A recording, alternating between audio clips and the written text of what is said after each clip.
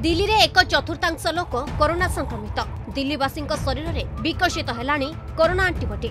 তেইশ দশমিক চারি আঠ প্রত লোক শরীরের করোনার আন্টিবডি প্রতি চারিজন ব্যক্তি দেহরে করোনা আন্টিবডি দেশের রাজধানী দিল্লীরে করোনা কেউ স্তরের রয়েছে তাহার রিপোর্ট সামনাকু আসিছে এনসিডিসি এবং দিল্লী সরকার মিলিত উদ্যমরে হয়েছে সেরো সর্ভিলান্সর রিপোর্ট সামনাকু আসিছে জুন সতেইশরু জুলাই দশ মধ্যে হয়েছে এই সর্ভে বিনা লক্ষণ থাকা লোকঠার নমুনা সংগ্রহ করা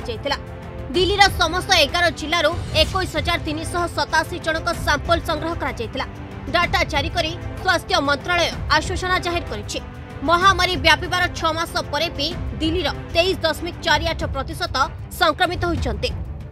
ये हमारा ऑब्जेक्टिव था कि दिल्ली की पॉपुलेशन में infection prevalence among general community कितना हुआ है, ये जानने के लिए हमने ये सर्वे किया था। अब जैसे कि सर्वे के उसके रिज़ल्ट के बारे में जाऊँ तो मैं आपको दो प्रकार की बातें बताना चाहूँगा। कि सीरो सर्वे और जो एंटीबॉडीज का हमारे शरीर में जो जन, जनन होता है या जो उसका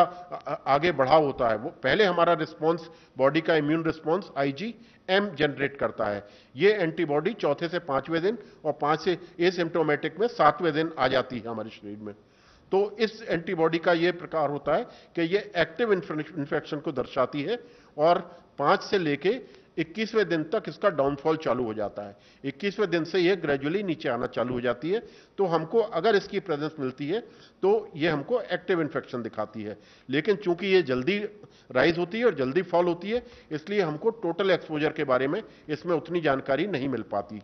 इसी के साथ एक दूसरा एंटीबॉडी रिस्पांस होता है, जो कि आईजीजी होता है। ये रिस्पांस थोड़ा सा लेट जनरेट होता है, चौदहवें से पंद्रहवें दिन के दौरान, और इसकी एक सस्टेन्ड लॉन्गिविटी होती है, कुछ लंबे समय तक ये रहता है। चूँकि ये इन्फेक्शन एक नए वायरस के द्वारा है, ये मैं यहाँ पे आप लोगों को इसलिए हाईलाइट करना चाहूँगा, क्योंकि कितने समय तक ये एंटीबॉडीज हमारे शरीर में रहती हैं, इसके बारे में अभी डिटेल साइंटिफिक स्टडी के लिए उतना समय साइंटिस्ट को नहीं मिल पाया है। तो ये हमें शहने शहने पता चलेगा कि इस एंटीबॉडी का हमारे वक्त में कितने समय तक मौजूद या प्रेजेंस रहती है, ये जानने के लिए।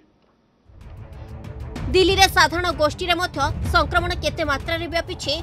जानवापी सेरो सर्भिलांस तेज दिल्ली सतस्तरी प्रतिशत लोक असुरक्षित अच्छा जो संक्रमित होवार अधिक रही